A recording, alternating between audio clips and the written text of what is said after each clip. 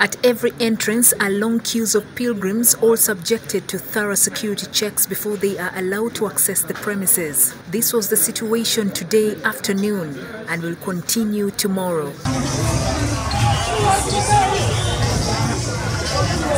Inside the ground, security personnel were seen doing routine patrols to ensure everything was in order.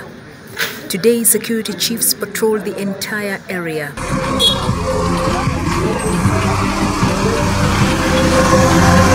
Community liaison officer in the Uganda Police Force engaged pilgrims on the need to be security conscious. as well as add on the sensitization program because we have a number of teams which are, are moving around the pilgrims, not only here in the Catholic shrine, but also in the Protestant shrine and, uh, and, out, and outside to ensure that uh, we protect life and property. This is done uh, through, uh, I, I may call it door to door.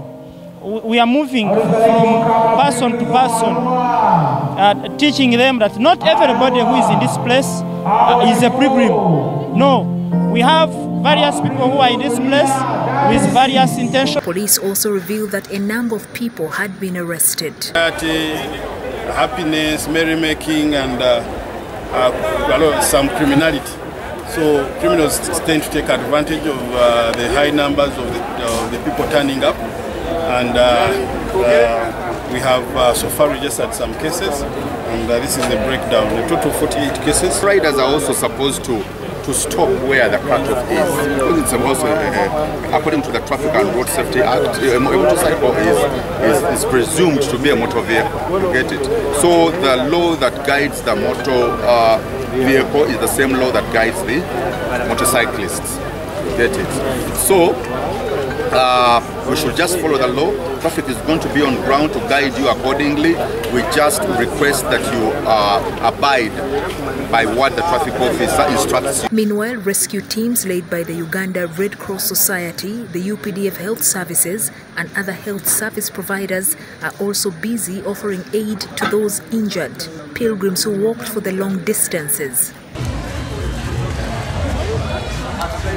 Praise Tayewa, the Kampala branch manager of Uganda Red Cross, explains that the majority of cases are simple injuries sustained by foot pilgrims. In case a pilgrim is seriously injured, they are referred to Mulago National Referral Hospital for treatment. here to offer first aid, emergency medical services to pilgrims. People have moved from all they have come from, they are here.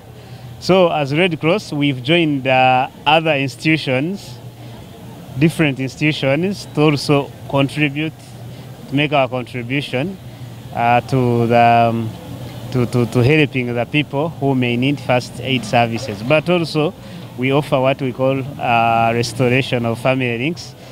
Families are going to come here, but at the end of the day, they are going to separate because of numbers. Report by Rachel Nachiwala for the news.